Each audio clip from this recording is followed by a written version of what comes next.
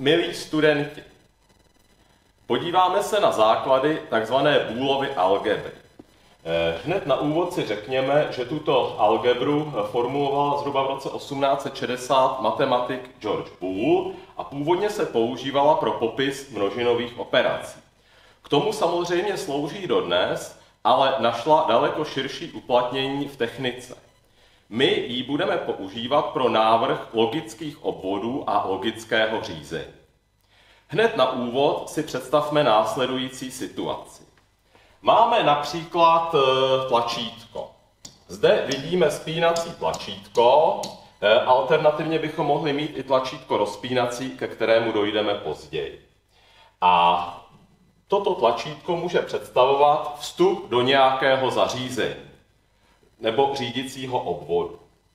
Eh, pak budeme mít například žárovku, alternativně by tady mohl být třeba elektromotor, ventilátoru, čerpadla a podobně. A tato žárovka bude představovat zařízení výstupní. No a eh, v čem je to zajímavé? Uvědomme si, že všechna tato zařízení, respektive všechny tyto prvky, můžou mít pouze dva možné stavy. U toho tlačítka to je jasné. Eh, to tlačítko může být buď uvolněné, čili eh, nevede proud, je rozpojené, anebo může být stisknuté a pak tedy eh, se jeví vlastně jako nulový odpor, to znamená proud teče naprosto bez problému, bez úbytku napětí. Podobně předpokládejme, že to bude i se žárovkou. Vynechme teď z našich úvah například smívání té žárovky a uvažujeme, že ta žárovka je signalizační. Bude signalizovat například nějakou poruchu, nějaký stav. E, ta žárovka může být buď zhasnutá, anebo může svítit. To znamená, všechna tato zařízení, která zde vidíme, mají společnou vlastnost. A sice můžou být ve dvou možných stavech. A to je z hlediska popisu Boolovou algebrou velmi výhodné. Boolova algebra totiž pracuje pouze se dvěma znaky. Jsou to znaky 0 a 1. A pokud jste eh, už něco programovali ve vyšším jazyce, eh, tak tyto znaky byly eh, vlastně nahrazené symboly false pro nulu a true pro jedničku. Takže alternativně místo 0 a 1 můžeme také pracovat se symboly false a true. My se v dalším výkladu budeme držet tohoto eh, jednoduchého značení, to znamená, budeme pracovat tedy pouze se znaky 0 a 1. Tak, a eh, co je vlastně smyslem Boolovy algebry? Eh, smyslem Boolovy algebry je popsat stav výstupního zařízení, například tedy té žárovky, na stavu vstupů. To znamená například na stavu nějakých tlačítek, kontaktů a senzorů a podobně. Než k tomu samotnému popisu dojdeme, dojdeme eh, tak si řekněme, eh, s jakými operacemi ta Boolova algebra pracuje. Vy už jste eh, v matematice poznali celou řadu operací. Vy víte, že v aritmetice jste například zavedli operace sčítání, odčítání, násobení, dělení. Eh, později jste poznali eh, některé funkce, jako je například sinus, exponenciela, logaritmus a tak dál a tak dál. Eh, to je, prosím vás, eh, veliký rozdíl oproti Boolově algebře. Eh, za chvíli uvidíme, že Boolova algebra pracuje pouze se třemi základními operacemi. To znamená, na rozdíl od naší aritmetiky, na rozdíl od naší matematiky, máme vlastně výrazně méně operací a jsou podstatně jednodušší. Tak, pustme se tedy, pustme se tedy eh, přímo do Boolovy algebry. Přejdeme tedy na další, a to budou základní operace, kterým taky někdy říkáme logické. Takže napišme si téma základní logické operace.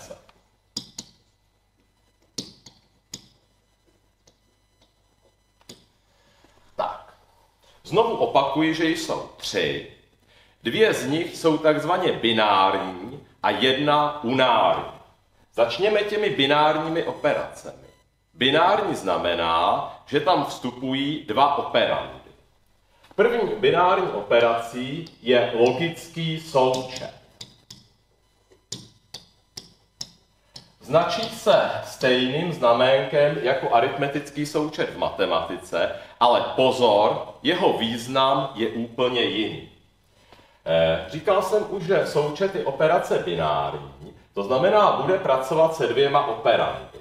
Eh, to, co sčítáme, budeme označovat A a B a výsledek toho logického součtu y. Takže můžeme tedy napsat y se rovná A plus B. Tak, jak jsem už říkal, tak každá z těch proměných A B a samozřejmě i to y může nabývat pouze dvou hodnot. Nuly nebo jedničky. A my popíšeme ten logický součet pomocí takzvané pravdivostní tabulky. To je tabulka, která bude popisovat stav té proměné y v závislosti na stavu a a b. Tak, pravdivostní tabulku si předpřipravíme takto. E, víme, že musí popisovat stav vlastně vstupů, takže já tady budu mít vstupní proměny, tohle jsou jakoby vstupy, a y bude představovat výstup. A pro větší přehlednost oddělím vstupy od výstupu dvojitou čarou. To znamená, tady budu mít A, B a tady bude vlastně výsledek té operace, což je to Y. A dále je před námi otázka, eh, kolik řádků má mít ta pravdivostní tabulka. Eh, tato otázka bude důležitá zvlášť u složitějších obvodů a jak uvidíme později, bude poměrně omezující. Eh, uvidíme, že složitost těch úloh poroste exponenciálně s počtem vstupů a budeme později hledat i nějaké cesty, jak tuto exponenciální složitost zjednodušit. Nicméně zůstaňme u eh, jednoduché úvahy. Víme, že vlastně každý z těch, každá z těch stupních proměných může nabývat dvou hodnot. No a když, ty, když těch vstupních proměných bude obecně n, v našem případě jsou dvě a a b, tak přijdeme na to, že máme vlastně dvě na n tou kombinací mezi e, n vstupy. Čili existuje dvě na n tou kombinací mezi n vstupy. Mimochodem ta dvojka je tu právě proto, že máme v naší bůlově algebře dva znaky. Ano, čili tyto dva znaky uh, určují, že budeme mít právě dvě na n kombinací. V našem případě to není tedy tak složité, jak by se zdálo. E, máme dva vstupy, čili dvě na druhou e, kombinací, takže čtyři kombinace a já si takto předpřipravím čtyři řádky pravdivostní tabulky. Eh, v tuto chvíli je asi celkem jedno, v jakém pořadí ty kombinace vypíšu.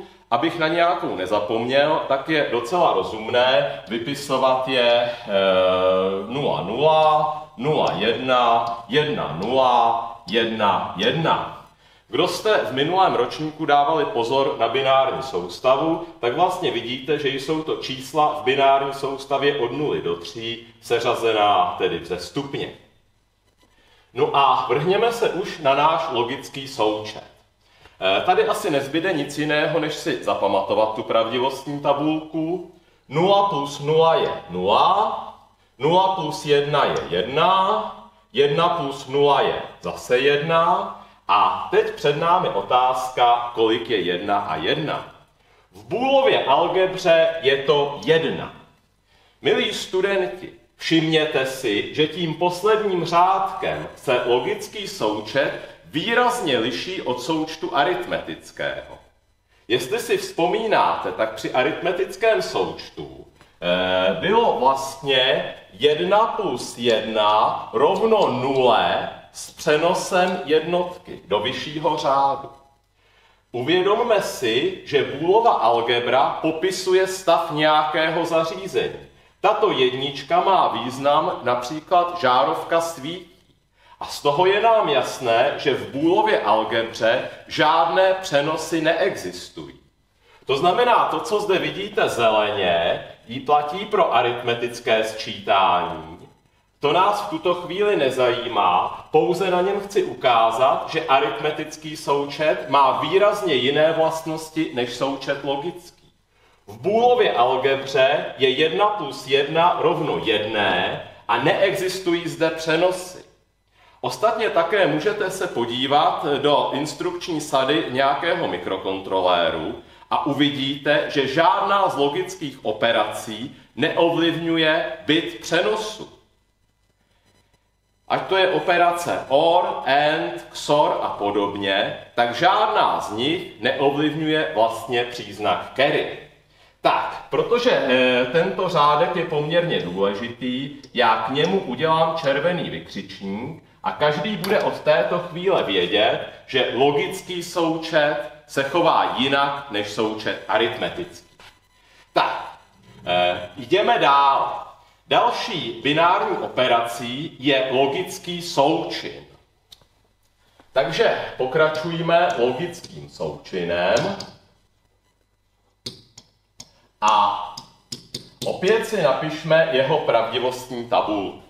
Logický součin se značí podobným znaménkem jako součin v matematice, čili znaménkem krát, a jeho pravdivostní tabulka vypadá následovně.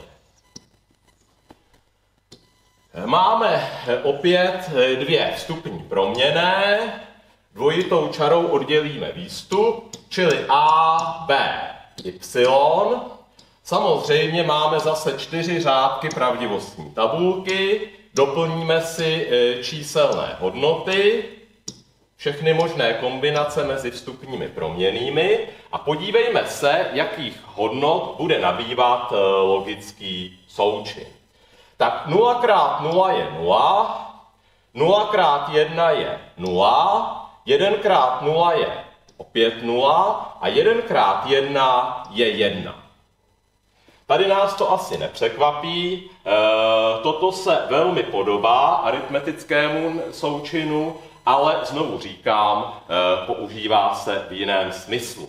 Za chvíli uvidíme, k čemu se nám logický součin bude hodit. Tak, jak jsem už říkal, tyto operace jsou binární. Vidíme tady tedy vždycky dva operandy A a B. Bůlova algebra eh, zavádí i třetí operaci, která je takzvaně unární.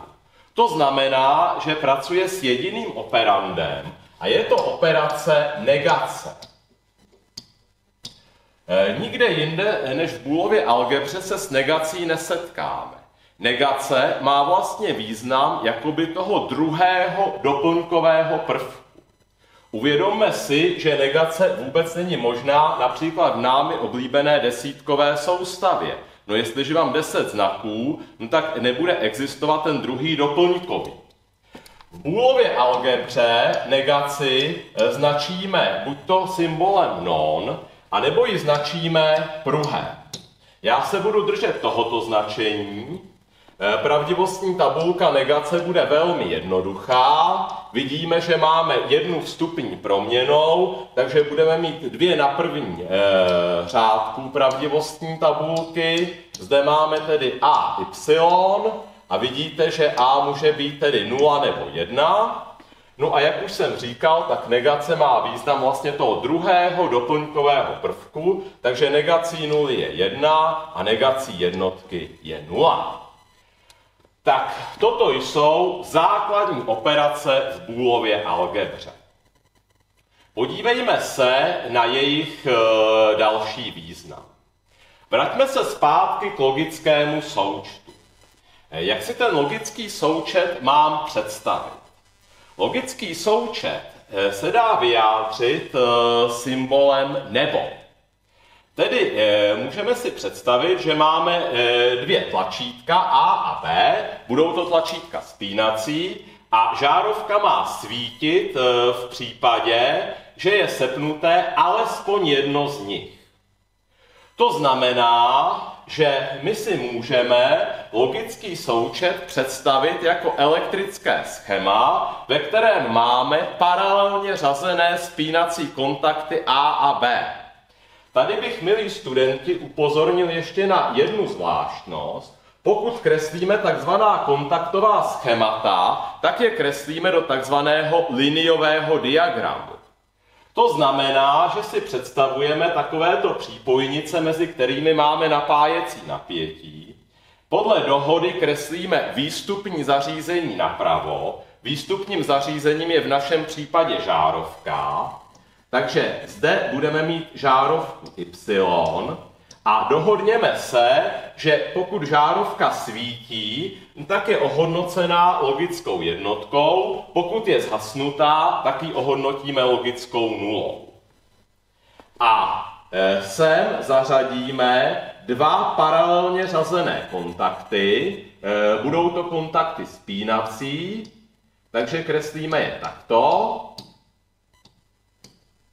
A samozřejmě, jelikož ty kontakty přísluší eh, těm daným proměným A a B, tak je musíme popsat.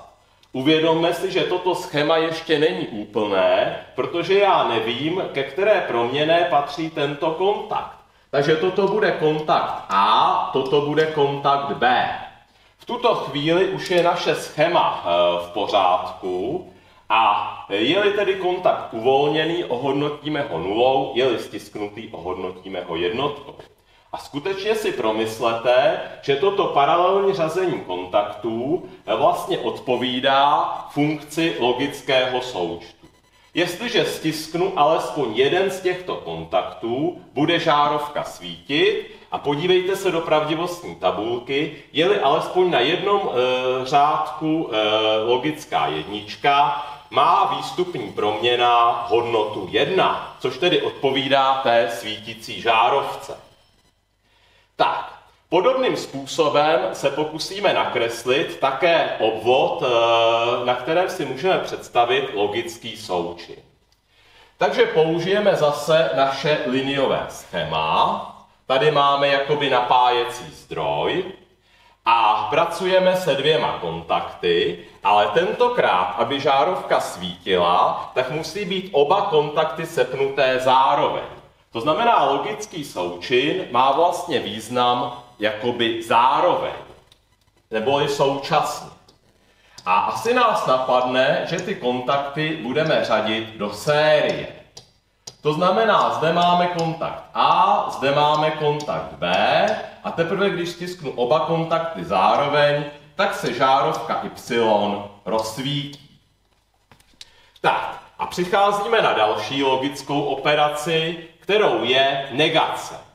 E, tady bychom asi přemýšleli, ale uvědomme si, e, co to vlastně znamená. E, nula znamená uvolněný kontakt. Pozor, logická nula neříká, že ten proud neteče. Logická nula nám říká, že na tento hmatník netlačíme. No, nebude to obtížné. Jestliže tedy kontakt je uvolněný, tak má žárovka svítit. Asi nás napadne, že to pomocí klasického spínacího kontaktu neudělá. Proto v elektrotechnice používáme kontakty rozpínací, které fungují přesně obráceně. Jeho schematická značka vypadá takto a jak už vidíte, tak je-li hmatník uvolněný, tak je vlastně vnitřní obvod spojený. Ve chvíli, kdy zatlačím na ten hmatník, tak se kontakt rozpojí a samozřejmě žárovka, která je s ním zapojená do série, tak zhasne. Takže toto je vlastně kontakt A a e, toto je výstupní žárovka Y. Tedy závěrem můžeme říct, že negaci realizujeme pomocí obráceného kontaktu, takzvaného kontaktu rozpínacího. A měli byste si, e, milí studenti, všichni zapamatovat, tedy jednak tyto dva druhy kontaktů, měli byste vědět, že spínací kontakt se značí takhle, a protože je normálně e, otevřený, tak eh, používáme někdy zkratku normal open. Čili toto je standardní značení, toto je standardní značení spínacího kontaktu. Rozpínací kontakt značíme takto a ten je normálně propojený, z angličtiny tedy použijeme zkratku normal closed. Takže prosím pěkně, zapamatujte si tyto dva druhy kontaktů, jejich činnost a zároveň si zapamatujte realizaci základních operací v Boolově algebře pomocí těchto kontaktů. Tedy logického součtu, jakožto paralelního řazení spínacích kontaktů, logického součinu, jakožto sériového řazení kontaktů spínacích a negace, jakožto použití rozpínacího kontaktu. Tak. My eh, samozřejmě nemusíme vždy eh, tyto eh, operace realizovat kontaktově. V řadě případů používáme elektronické členy, kterým říkáme hradla. No a protože součet má vlastně význam nebo, tak zde používáme logický člen, čili hradlo, které se z angličtiny označuje OR. Má několik normalizovaných schematických značek, eh, takže například, eh, například značka, se kterou se setkáte velmi často v datasheetu eh, mikropočítače, vypadá takto. Je to značka podle americké normy, a, pardon, teď se omlouvám, toto je samozřejmě hradlo endové. Toto je tedy hradlo OR, realizující funkci nebo, čili logický součet. Podobně můžeme logický součin realizovat hradlem AND.